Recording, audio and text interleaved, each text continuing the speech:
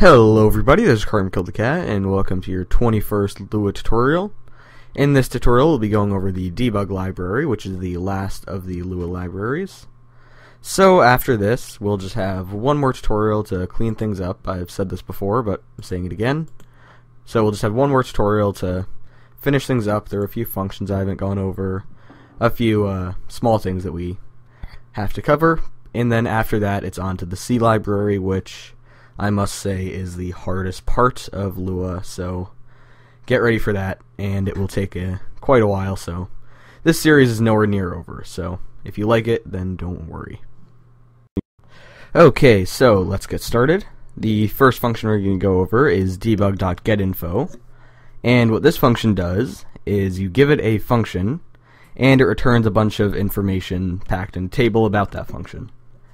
So to show this, we'll create a function. So we'll say function, we can just call it f, and end, and then we'll just make it print hello world, like usual. Think I'd be better at spelling it by now.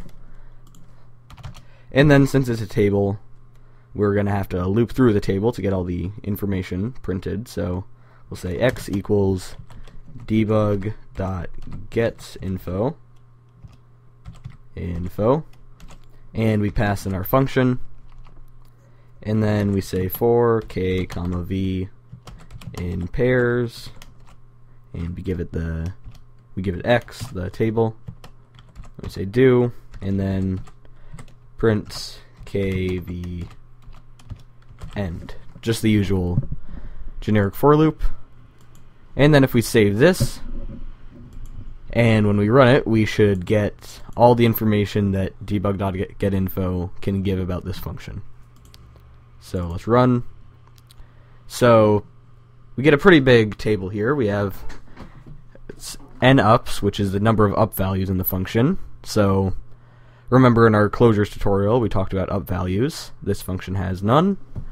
And what this is what kind of function it is. It can be a Lua function, it can be a C function, and if it's a C function then a lot of this information won't be there because Lua can't get a lot of information about the C functions.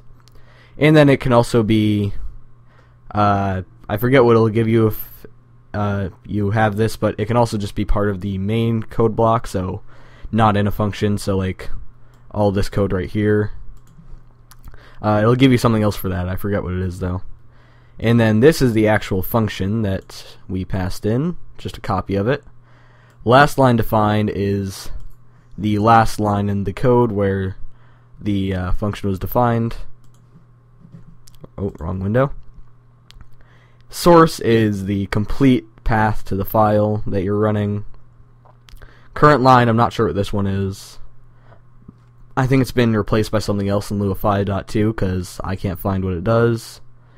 Name what? Uh, this is an empty string right now, but it just tells you a little more about the function. So I think if we were to close this and make it a local function, so we say local function, then if we run it again, no we don't. Uh, if it can, then name what will give you some more information about the function, like say if it's local, global, or if, uh, if it's a method of a table or a field. But apparently I can't find it right now. I'm not sure why. And then line defined is the line where the function definition starts, so right here. Wrong window again. And short source is a shortened version of the path to the file. Uh, the path isn't very long for this example, so short source is just getting rid of the at in front of the E drive. But if you had a really long path, then it would cut that down a little. So that's what the debug.getInfo function does. So we can actually call debug.info another way. So instead of having this local function f, though actually I'm going to keep that there because we may use it again, we can give it a number parameter that uh, this is the stack level that you want to get the info from. So what the stack level is, it's basically like what, how directly are you calling the function? So if you say zero, it'll get information about debug.getInfo, and let's just say that this line is in a function. So if we put 1, it would get info about the function that uh, we want that the debug.getInfo function is being called from. And if that was in a function, then uh, inputting 2 would get information about that function, and so on. So let's put in 0 and not the new file thing. Don't want to save changes. Save this. And we can run it like this. So source equals C. What? It's a C function. Uh, it's the function ID. No up values. The short source is C. uh, not sure what that means for the file path. The name is getinfo, so it actually got the name correctly. Current lines negative one. Don't know what that means. Uh, name what is field. It's a field of debug, the uh, debug module, and it can't get the line defined and last line defined, possibly because the function was defined in a different file. I'm not sure though. So now let's put this into our f function. Whoops. Put this here We can get rid of this end. No, we cannot.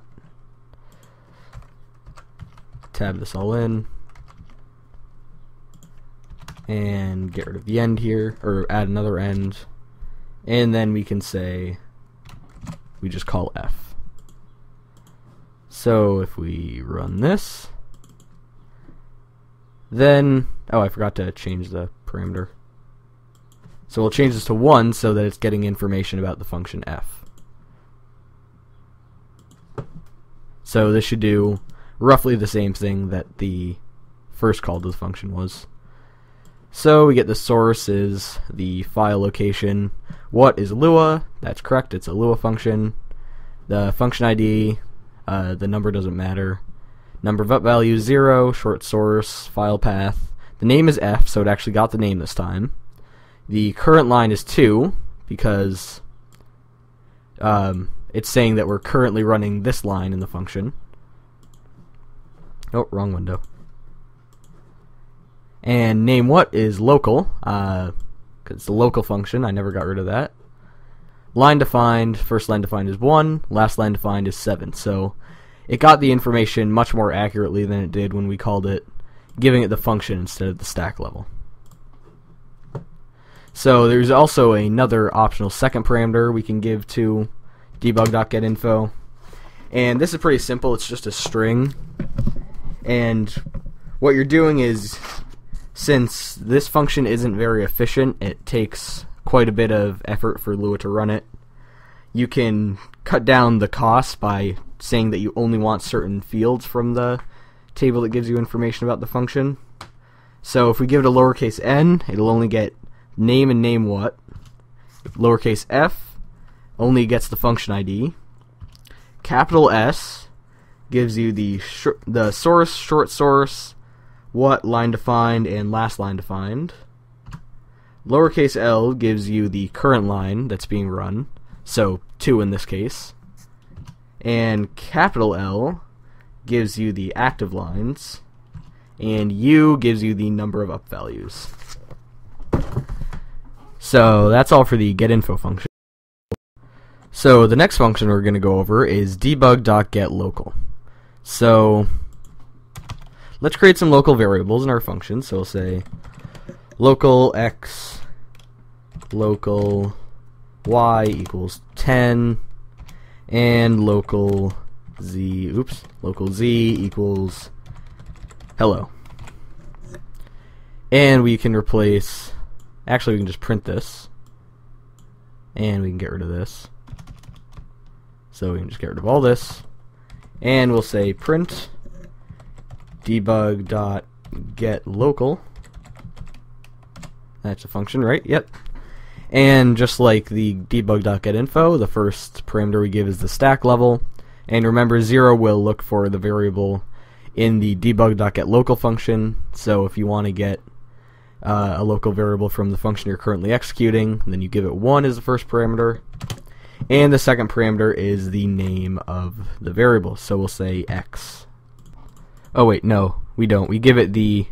Uh, uh, before I tell you what you actually have to do, I'll explain how Lua orders variables in the variable stack. So when you create a local variable, it's put into a stack of all the variables currently in the function that are local. So we create x first, so that'll be given the index 1. Then we create y, so that is 2. And then z has index 3. So get used to that system because that's the way the entire C library works. So we don't give this a string that has the name. We'll say 1 because we want to get the local x variable. So we can save this and actually let's no this will work. So save this and run it and we get x nil. So it got the local variable x and its value is nil so it gave us the name and the value. So if we change the next to 2 it should say y and 10 I don't want to buy sublime text. Y and 10 and then we can get z and hello. Gotta save it. z and hello. So that's how the get local function. So the next function is very similar. It's called get up value. So just change this to get up value. And I said up twice. And I'm not actually going to create an example for this because uh, it's pretty self-explanatory, but basically the only difference between this and debug.getLocal is that instead of giving it a stack level, you give it the function, so we could say f. And you can probably guess that what debug.getUpValue does is it searches a closure, which is our value f, and it searches for an up value at this index. The index system is the same as debug.getLocal. It's the order at which they were created. So it searches for up values by the index. And remember that up values are values that are saved by a lo- or local values that are saved when they should be deleted because they're part of a closure. So that's debug.getUpValue. So the final function we're going to go over is called debug.setHook. And what this function does is it allows you to set a function, we'll use print in this example, it allows you to set a function to be called whenever a certain event happens. And those events are when a function is called, you this you give the second parameter the string c. Whenever a new line is uh, run, you give it the parameter l. Or whenever a function returns, you give it the parameter r. And then also you can give it a number, and that is whenever a certain number of commands happens. So like if you say two, then you're saying uh, you want the hook to run every time, say, a variable is set and then another variable is set, or just any two commands. So for the example, we're just going to use C, and we can get rid of this function here, but we'll actually keep the function itself, and we'll just put some random stuff in the function. We'll just say x equals 10. So what this should do is it should print and uh, another thing when you call a function with set hook, then it will only give it the parameter of what event was called. So it should say call, and then for this example, it should say call. But if you give it the parameter L for line, it will give you line, and then as a second parameter, it will give what line was run when the command was invoked. So we're going to use call, so it should just say call, uh, I think just once. So we'll save it, run it, and we get call and then nil.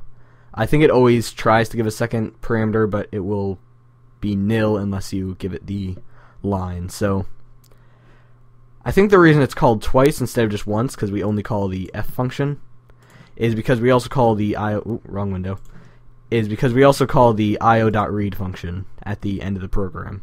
In that ha- in we call the io.read function before io.read actually stops the program from executing. So we've called two functions and the hook has printed the fact that two functions were called or it's printed the fact that a function was called twice. So that's what debug.setHook does. So that's all for this tutorial. Uh, hopefully this is a pretty short one. We've had a few long ones recently. This will be a nice break, I hope. But anyway, in the next tutorial, we'll be going over the last few functions and concepts that we have to go over. And then after that, it's on to the C library. So get ready for that and see you in the next tutorial.